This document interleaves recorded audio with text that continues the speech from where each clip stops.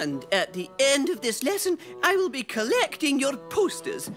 The winning poster will be announced at the fancy dress party tomorrow night. Oh, oh, uh, uh, what's the prize, miss?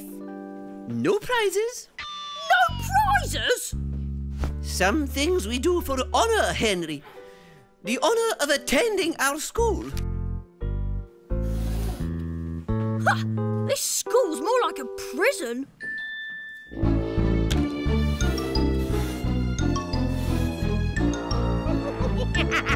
Right, class? Please roll up your posters. Margaret and Susan will collect them. There, all finished. That's rude. Is it? Oh, thank you, Henry. Miss Battleaxe is gonna love this. Give me that back! Oh, as if. Yeah, as if. Thank you both. Please go with Miss Lovely to Miss Oddbod's office. Yes. Phew, that was close. Miss Battleaxe would have gone mad. Yeah, now Miss Oddbod can go mad instead. Uh-oh. You're right.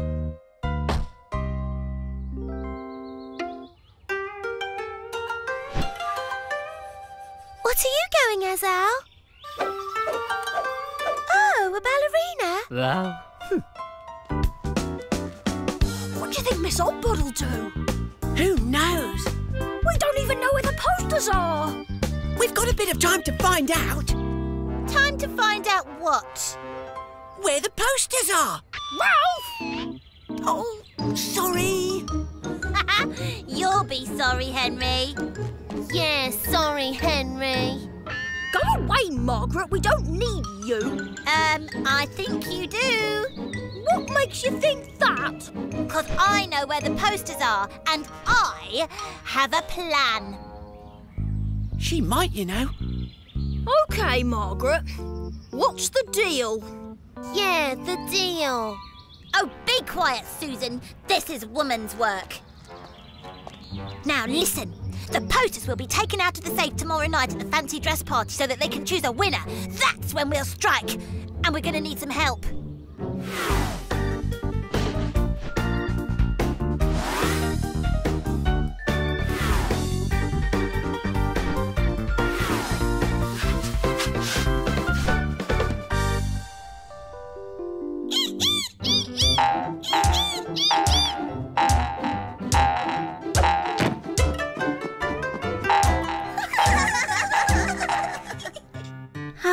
This party last? Cool Henry! You're late.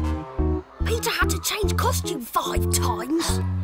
Everyone's in position. Such a nice turnout, don't you think? Bert's on alert. And Ralph is ready.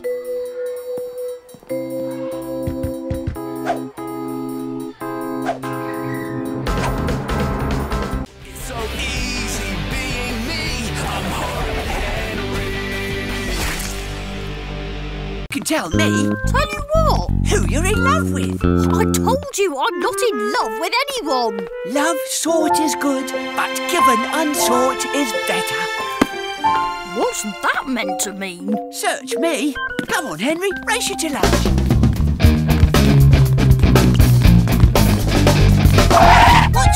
Going, slug snot. You watch where you're going, beetle brain. Yeah, yeah, whatever. You're in love with that phone. You are. I said you're in love with your phone. What's not to love? It tells me everything I need to know. Oh yeah, like what? Like the time, like my dad's phone number and the number for the Boodle Poodle parlour, like whether I'm happy or sad or just plain moody. It even tells me what the weather's like. It's raining. Yeah, I know it's raining. My phone told me so.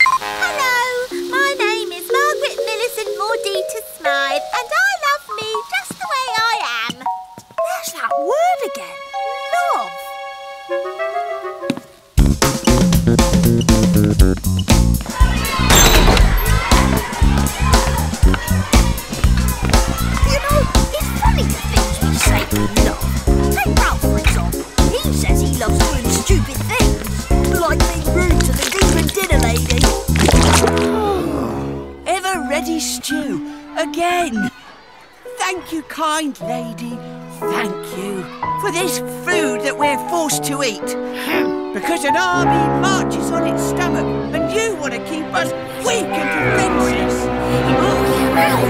We're nothing but pawns in your merciless game. Those are creatures who. Any chance of some chips? Take that as a no then. Al, on the other hand, says he loves being a robot.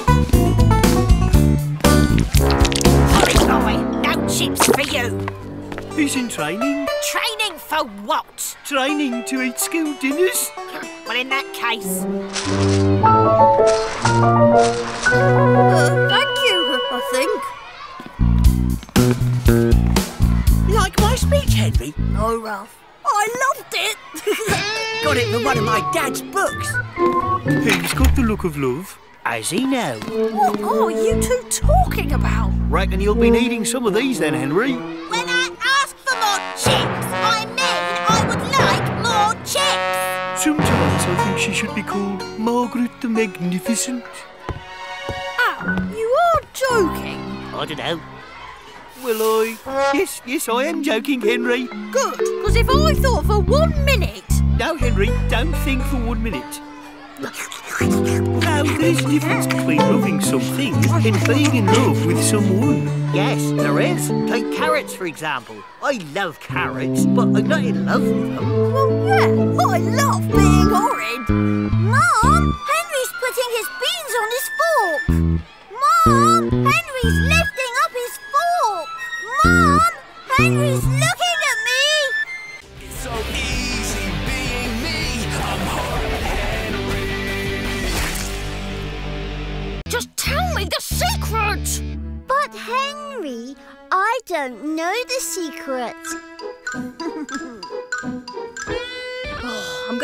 Spy on him too. Why don't you have a picnic with Bunny in your bedroom? I've got so much to do down here. I've got an idea, Bunny. Let's have a picnic. Hmm, this might take longer than I thought. This is much better, isn't it, Bunny?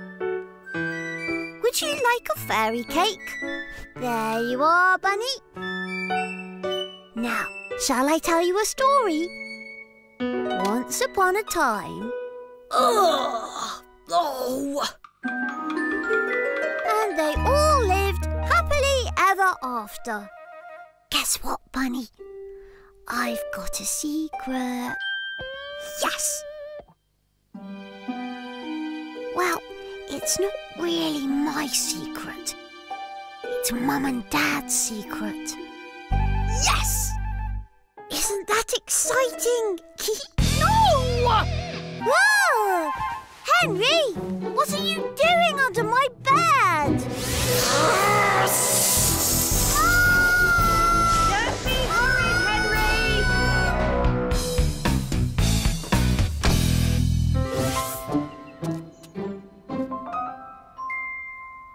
Operation Espionage is go! So, it's all happening Saturday afternoon. Yes, we've got a new CD.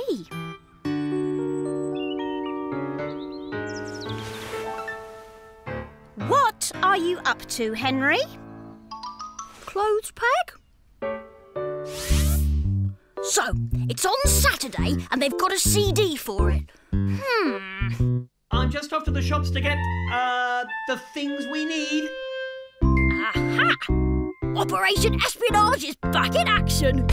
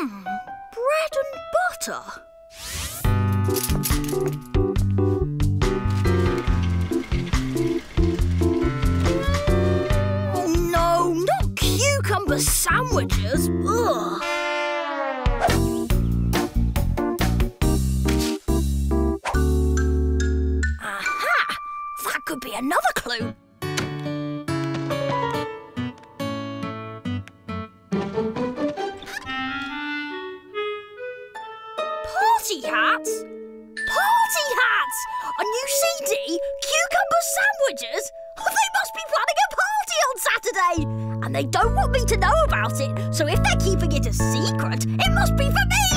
Oh, I wonder if they've got me any presents! It's so easy being me.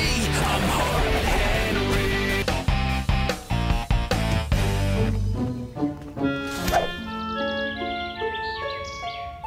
No! This'll take forever. Unless I can get somebody to help me.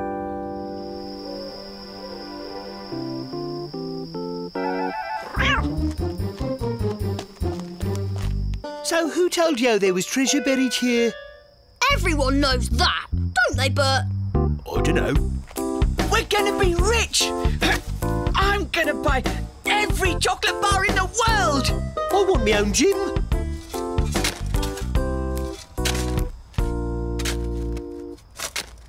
Hey, Bert, found anything? I don't know.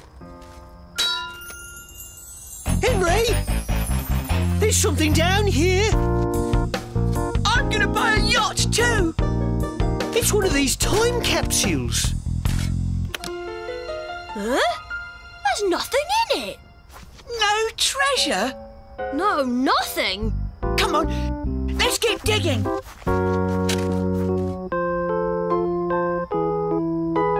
I bet there never was any treasure. How come these are all empty? I don't know. I'm going home. Thanks for nothing, Henry. They were all empty. I want my bunny! Where can he be? Maybe he's been kidnapped by aliens.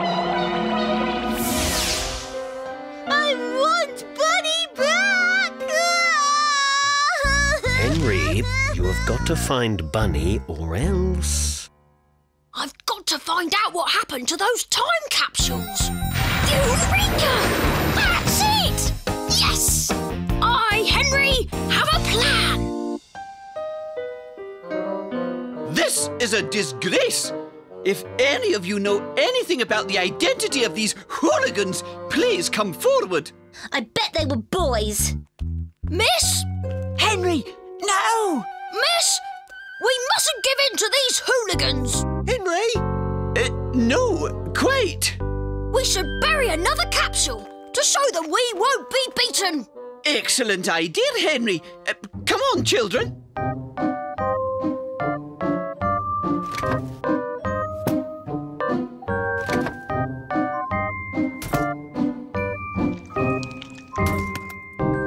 What's your game? Henry, have a gold star. Oh, thank you. Maybe the children of the future would like it. How unusually unselfish, Henry. Well done. Right, let's get this capsule buried. Yes. Al, you're good at digging. Shh. Uh, I mean, you probably are. Now we wait. It's so easy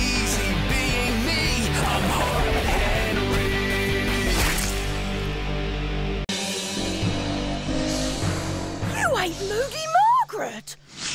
Yes! oh, yeah! Margaret's plant food! No more Margaret! oh, no, no, no, no. You don't want to eat me? Uh, there's lots of other delicious people to eat first. Uh, like Miss Battleaxe and Soggy Sid and that old lady who always lets her dog on my leg. And, uh... And Peter, Plant, I command you. Eat perfect Peter. Oh, there you are, Henry. Uh, yes? Who were you talking to? Your plant. It's eaten Margaret, and now it's going to eat you. My plant? you are funny, Henry. Plants don't eat people.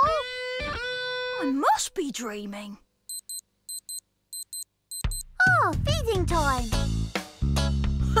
I'm off to watch TV.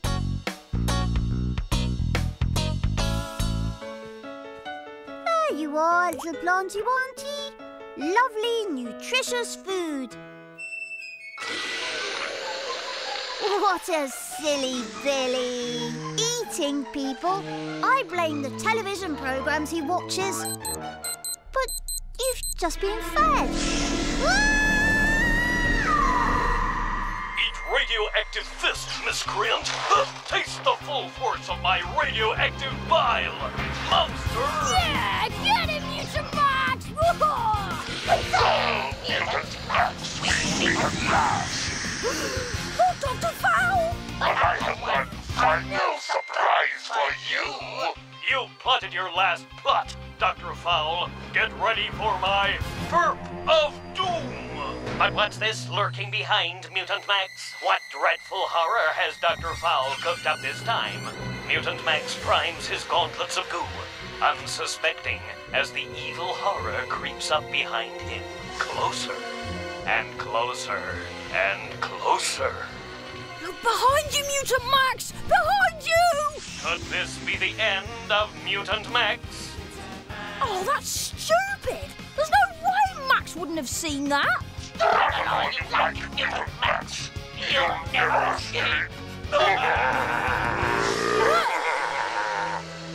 That's not my stomach! Ah! What are you doing? You, don't want to eat me! I'm your friend! I played you cool music! Remember the comics the tea! You don't want to eat me! Horrible! Got smelly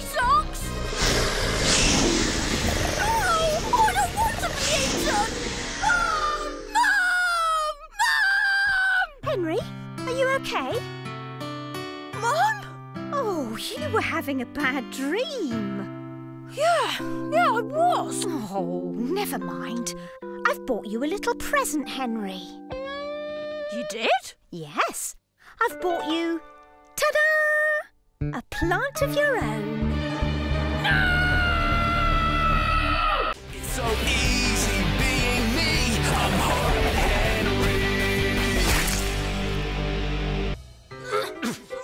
We could get a babysitter. No, we're going out as a family. Henry! He's got the car keys again. Henry, I'm coming in there. Henry, no! Not the toilet! He wouldn't, would he?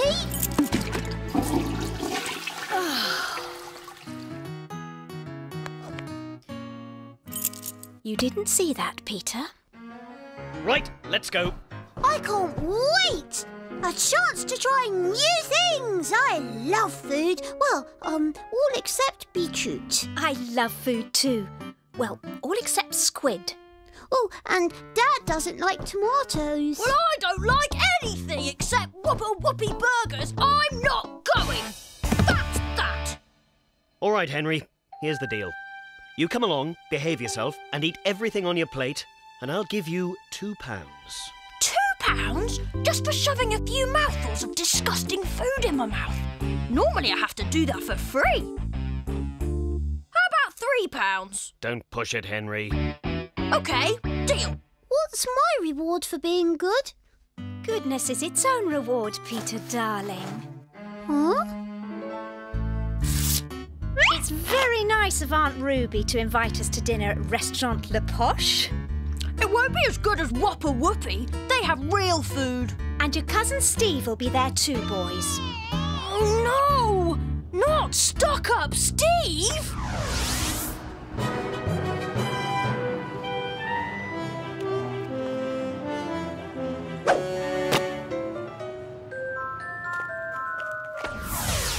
Steve's my favourite cousin.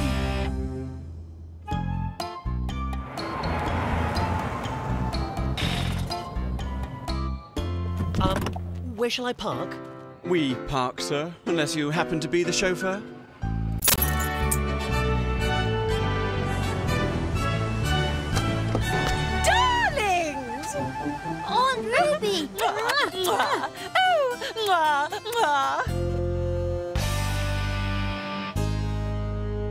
New car, Ruby? Oh, I'm not sure, darling. All our limos look the same to me.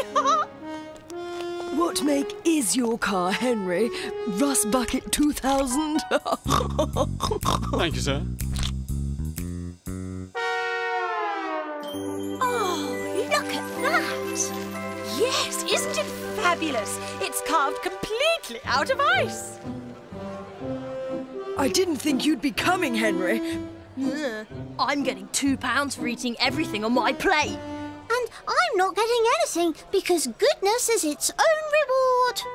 Huh? Be, quiet, worm!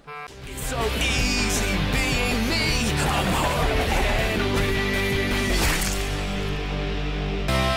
Henry. Welcome to our school, Your Majesty. My name is Worm. Peter. Bow, okay, answer a question, walk away. When I'm king.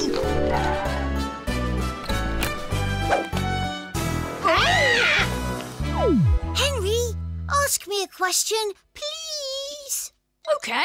So, little boy, why are you so smelly? Why don't you ask her a question instead? Why?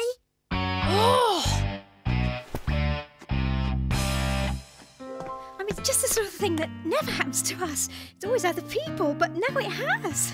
Oh, I know. Mum, how many TVs has the Queen got? Yes, it isn't as exciting? Peter's going to meet the Queen. What's all the fuss about? I bet the Queen's not making a big deal out of meeting Peter.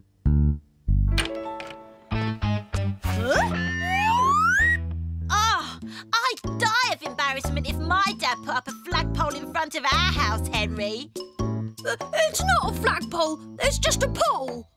Get the Union Jack from the cellar, please, Henry.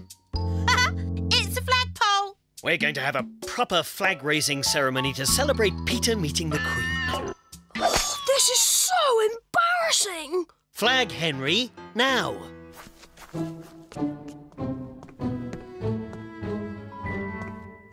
You're doing it all wrong. No, I'm not. Okay, fine. Make a fool of yourself. Well, how do they do it then?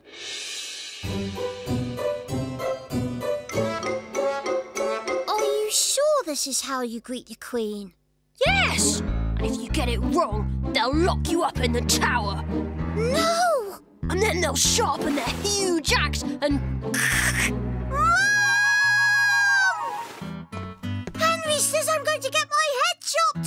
Don't be horrid, Henry. Where's my flag, Henry? Just getting it, Dad.